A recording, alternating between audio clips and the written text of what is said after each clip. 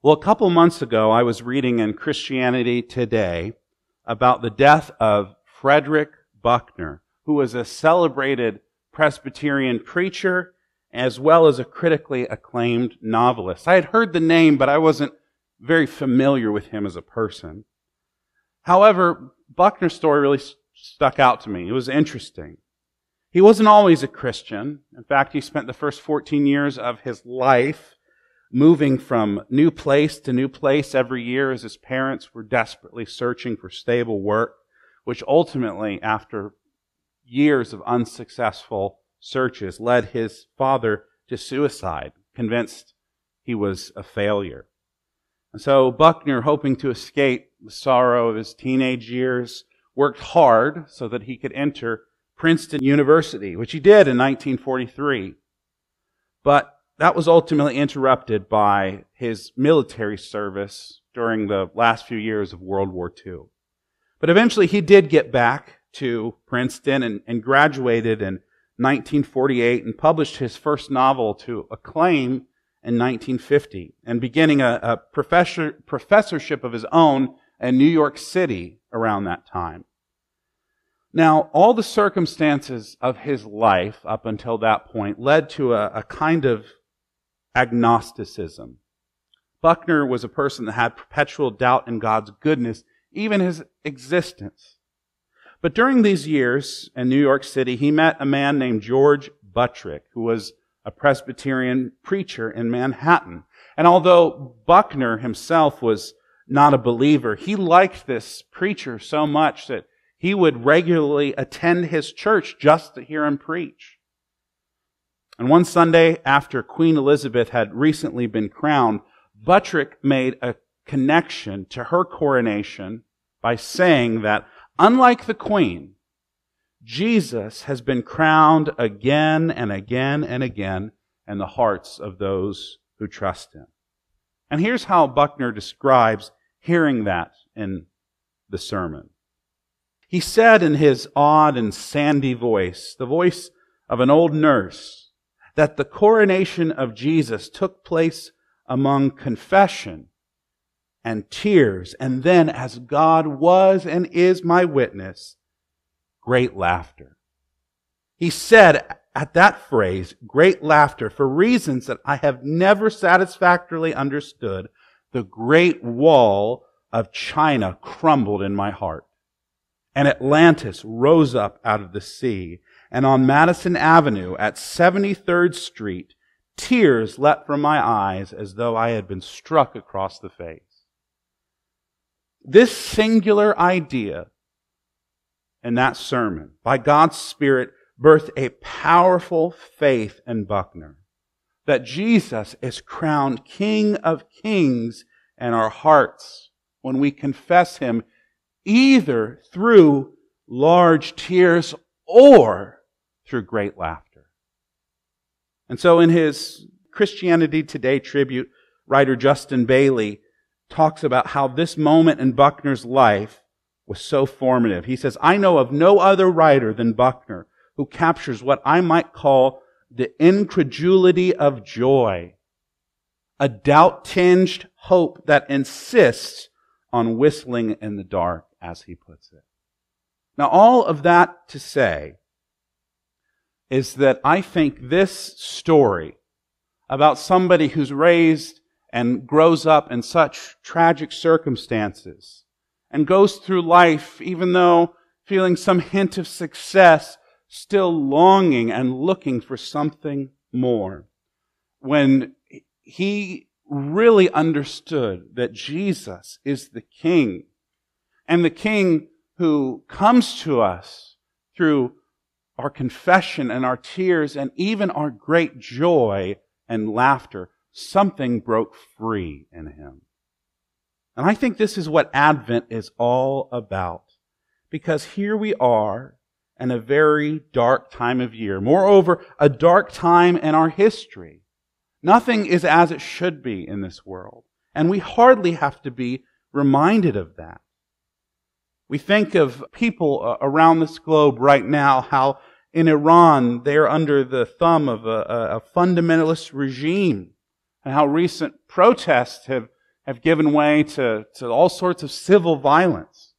Or look a little further east and look to the people of China who likewise are controlled by an unforgiving government. This is how people are, are living all over this world. And people in our own country struggle to make ends meet while we read and hear news stories of our young people murdered in our city. And even churches are experiencing, churches that are supposed to be uh, an ark from the despair of this world, even our churches are experiencing suffering because of our record division, which casts doubt in people's mind. Things like culture wars or political extremism, and most insidiously of all, things like the moral failings and sexual abuse of Christian leaders have made churches even feel to people like a place that they can't truly call home. And all of these things have led many believers down the paths of deconstruction and doubt. What if this church isn't what it really claims to be? Why would God allow all this suffering and sadness, not only in this world, but even amongst his people? And most devastating of all, what if Jesus really isn't who he says he is? These are questions that real Christian people are struggling through today. And for those who find themselves asking these kind of questions, I say one thing. Don't despair. Because you are in good company when you ask these kind of questions. Because you stand shoulder to shoulder with John the Baptist, of whom Jesus says in our passage, among those born of women, no one is greater than John. And yet he is the, the same John we met last week, a fiery breathing prophet who challenged every Pharisee and Sadducee and every dignitary and every royal member of the family and his corrupt government. John was fearless, and yet this week, in the musty air of a dim prison cell and all the sorrow and uncertainty of his life, we hear him rather timidly ask Jesus, who he was just proclaiming last week, Are you really the one who is to come, or should we expect another? It's right smack dab in the middle of that doubt, if not despair, that Jesus announces good news of a hidden joy for John and for all of us. So let's look at our passage this morning, starting in, in verse 2. In this morning's gospel passage, we find John not preaching in the wide open frontier of the Jordan River like he was last week, but rather now he's stuffed away in a suffocating little prison cell because of his preaching against a sinful king. But reports are getting back to him about Jesus' ministry about the things that Jesus is saying and doing by way of John's own disciples. So this prompts him in verse 3 to ask the question of the hour. Are you the one who is to come, or should we expect someone else? Now, why do you think that John is asking this question? After all, he was just preaching the coming of the Messiah. More than that, he baptized Jesus as the Father's voice and the Spirit's presence came down divinely affirming that Jesus is the obedient Son of God, the anointed one of Israel. John experienced the power of his own proclamation, the Messiah in his own sight, at his own hearing. He had this authentic and life-changing experience. And through Jesus, nonetheless. And yet, here he is. Jesus says the greatest preacher to ever live, racked by doubt. The reason why I believe that John is experiencing something that we can't fathom a strong Christian believer would go through. Moments of questioning, moments of doubt. The reason why is that John, although he was mighty, he was not himself the Messiah. I think we put an unhealthy, an unhelpful burden on the shoulders of even strong Christian people to assume they always know the answers to why God works in the ways that he does. The answer, or, or the, the, the, the clear idea that's represented here is that even John, who Jesus thought the world of, quite literally, didn't know all the answers, didn't understand why God worked the way he did. Even John experienced doubt and discouragement. Maybe that could give us a little breathing room to not be so harsh with one another and with ourselves when we just don't understand the way that God is working. No doubt, John, like Jesus' disciples, was expecting Jesus to do something different than what he was actually doing. I think we too have different expectations of Jesus from time to time. John, after all his preaching, I'm sure was thinking that Jesus was going to do something more politically revolutionary. That he was going to do something more spiritually cataclysmic. Because like us, John was, was distraught by this, the radical, insidious evils of the world. He too looked around at the state of Israel, the state of her people, the state of the world, and knew this is not the way it should be. But someone is coming to change that. But he was baffled when God's action wasn't the sweeping political overthrow that maybe he'd been hoping for. He, he, he was caught off guard when there wasn't an angelic flood of justice from God's heavenly armies released on the powerful and mighty of this world. And like us, John couldn't imagine why God wouldn't inaugurate and usher in his eternal kingdom annihilating all sin and death, he couldn't imagine why God wouldn't do that right here, right now. And so John asked Jesus what we all do in moments of doubt. Are you really the one? Now, Jesus' response, I think, seems strange to us because he doesn't give John the direct answer that maybe we would like to hear. He doesn't say, Of course I am, John. But he does speak clearly for those with ears to hear. He says in verses 4 through 6, he says this. He says, Go and report to John what you hear and what you see. The blind receive their sight. The lame walk. Those with leprosy are cleansed. The deaf hear. The dead are raised. And the poor are told the good news. And blessed is the one who is not offended by me. Now, this is Jesus' own paraphrase of the prophet Isaiah in chapter 35, where Isaiah writes, Then the eyes of the blind will be opened and the ears of the deaf unstopped, and the lame will leap like a deer, and the tongue of the mute will sing for joy. But what sparks this divine reversal? See, Isaiah is writing to a people that are walking in darkness, that are looking for dawn of the age of the Messiah, but it still seems far off. They're walking in darkness of exile and sickness and war and famine and plague and division. All the things that our world and our society is going through. They're walking in darkness. But what sparks this reversal where eyes of the blind are open, where the ears of the deaf are unstopped, where the lame leap like deer, the tongue of the mute sing for joy? Isaiah writes, a road will be there and a way and it will be called the holy way. The unclean will not travel on it, but it will be for the one who walks the path. Fools will not wander on it.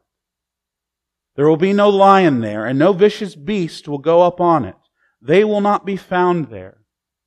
In other words, those that put their trust in the world and the regimes of this world, the fools, those who try to take advantage and abuse others, the violent, they won't be there. And even nature itself, no hurricane, no famine, no plague, no beast will be on this holy way. Only those who fear the Lord will be on this way. But the redeemed will walk on it, we read. And the ransom of the Lord will return and come to Zion with singing, crowned with unending joy. Joy and gladness will overtake them, and sorrow and sighing will flee. This is the passage which Jesus paraphrases and alludes to and preaches back to John. Jesus reminds John of God's holy way, and that holy way is Jesus himself. That is the path by which we reach that destiny of a new Zion, where there are no blind people, no sick people, no dis- depressed and discouraged people, no uh, people that are maimed and tortured and abused any longer because all of that will be undone as they reach this. And the way they come to this unending joy and gladness where sorrow and sighing are fleeing is through Jesus alone. No politic, no philosophy, no economics, no science, no industry will save us. Those things will not cut a pathway forward. Maybe they cut a pathway down into hell, but not up to, into the life of God. Only Jesus will. He is the road back to the Father, where blindness and poverty and sickness and death are no more. Only in Jesus, the King of Kings, will we too be crowned with unending joy. Only in Jesus will joy and gladness overtake us and wash everything else away. Only in Jesus will sorrow and sighing flee from our presence forever. And as Fleming Rutledge writes of this, of these verses in Matthew's gospel, in his response, Jesus is saying to John that yes, the messianic hour where these things begin to happen has actually arrived. He is saying that the time foretold by the prophet has actually come true in my ministry. That's what Jesus is saying. The time of God's liberation is here. The signs of the inbreaking of God's kingdom are occurring because I have arrived. That's what Jesus is saying to John. Now notice he doesn't say it like that. He says, John, do you want to know if I'm the one? Well, the blind are seeing again. The dead are being raised. The poor are being lifted up. The deaf are hearing again. So you tell me, John, what could this possibly mean? I'm here. These things are happening. What's the connection? And Jesus, I think in a similar way, puts us in that same tension today. He is not showing us before our own eyes and with our own ears these same miracles and these same signs that a wicked generation demanded. He's telling us this story. He's showing us himself and he's leaving us in the tension of faith. You tell me, church, am I the one? The blind are receiving their sight. Those who were entrenched in their sin addictions have been set free those families that were falling apart because they were following their own way are being reunited again because they're following after me. So you tell me, church, Am I the one? Because indeed, Jesus does heal and restore and resurrect. I think all of us have accounts of how he's done this in our own personal lives and our families. But there are also times in which he does not act according to how we think he ought to. At least not yet. And that is why John remains in prison until the unjust execution that he suffers. But does Jesus leave us alone in this doubt? Does he give us any reason for joy in this very confusing and murky life? So after sending that message to John, he turns to the onlooking crowd who's watching the whole exchange. He turns to us through the scriptures and asks a similarly piercing question. What did you go out into the wilderness to see? A reed swaying in the wind? Meaning, did you go out looking for someone that has no real conviction or backbone, but's doing a sort of entrancing uh, spiritual dance? Did you go out to see a, a spiritual sideshow, in other words? Or did you go out to see a partisan court prophet who's dressed in fine, soft robes, the kind that you find in Herod's own court?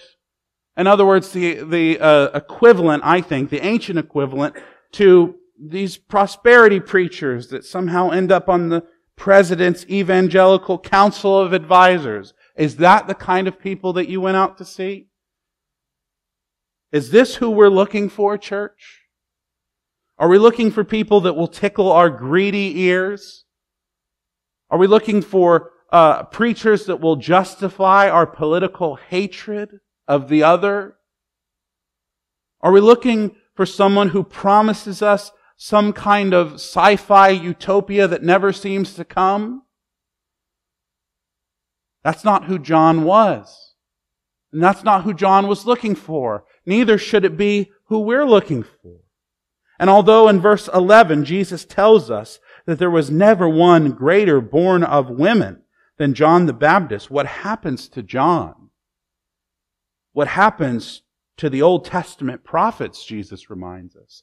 What happened to the New Testament preachers? And what still happens today to Christians all over this world gives us serious pause.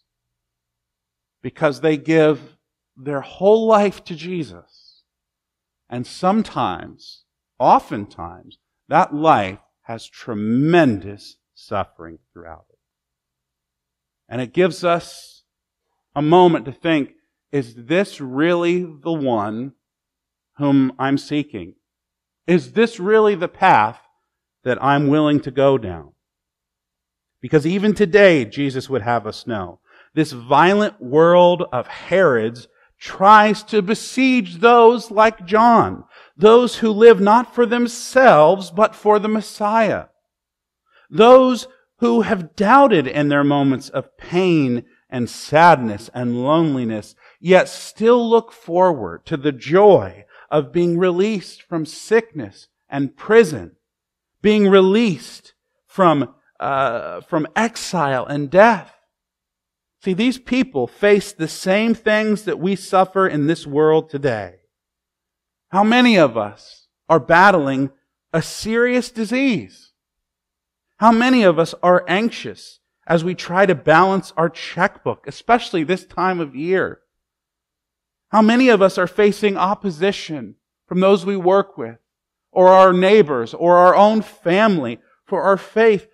And how many of us are racked with guilt and grief over how we struggle on a daily, if not hourly basis to believe and obey? John's world, where Christians go to prison, where they sit in moments of silence and suffering, is the same as our world today. But for those who belong to God's coming kingdom, because they belong to God's anointed king, Jesus says even those people will be greater in the kingdom of heaven. Even the least of these will be greater than John is in this world now.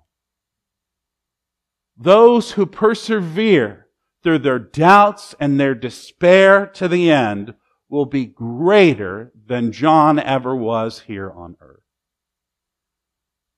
The least of us, like John, who cling to Christ, maybe with white knuckles and broken fingernails and with tear-stained faces and questioning hearts because they have ears to hear. Even though we go through all these uh, travails and turmoils and we live imperfectly and we constantly have to repent and be rebuked and exhorted to keep the faith. If we have ears to hear, truly those will experience unending joy and crowning glory under the everlasting grace of the King of Kings.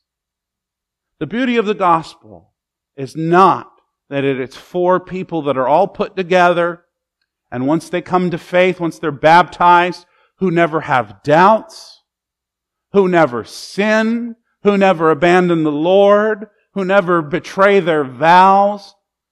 That's not the gospel. The gospel is that you can be the greatest preacher to ever live, John the Baptist, and sit in prison in silence and despair, and Jesus is still faithful to you through it all. That's the gospel. You will not be let go of by God because of your doubts and your failures. You won't be saved because of your strengths and your victories, we will be delivered from our sins and saved unto God because of Christ's loving faithfulness alone, which gives us joy in every sorrow that comes to us through this world. So here we are on Joy Sunday, or as the ninth century Latin Christians used to call it, Gaudete Sunday asking the same questions that John and Frederick Buckner and so many others have asked of Jesus in this confounding world of pain and loss. Are you really Him? Are you really the King? Is there real, actual joy to be had in you in this Advent season of waiting between the first and the second Advent is there joy to be had in you? And to you who asked that question this morning, not just the people that are most put together, not the people whose family lives you admire or are jealous of, to you, wherever you're coming from this morning, Jesus says, whoever has ears to hear, listen. Through your confession of sin, through your tears of relief and through your great laughter. Remember that He rules the world with truth and grace. And He makes all the nations, both then and now in the future, prove the glories of His righteousness and the wonders of His love. Let's pray. Father, as we wrestle internally with the tension that your kingdom is already here, but not yet in full, may we with all nature our songs employ that in Jesus no more will sin and sorrow grow. No more will thorns infest the ground. Come back to us soon, O Jesus, our joy, our dayspring and our morning star. For it's in you and your name alone we pray. Amen.